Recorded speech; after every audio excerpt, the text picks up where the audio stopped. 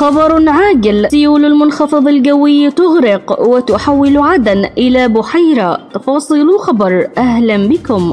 حولت سيول الأمطار الغزيرة نتيجة المنخفض الجوي في عدن إلى بحيرة. تسببت بكارثة للمواطنين.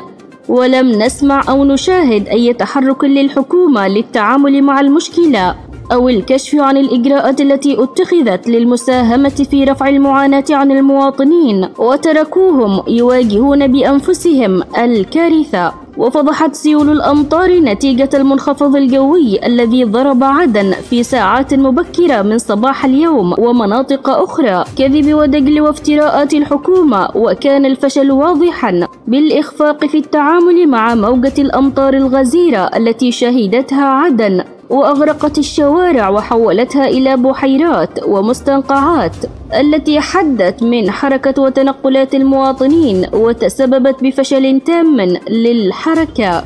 وكانت الحكومة قد دعت خلال الأشهر والسنوات الماضية أنهم أنجزوا خطة متكاملة لتصريف مياه الأمطار وهو الأمر الذي اتضح عدم صحته وكشفته سيول أمطار المنخفض الجوي.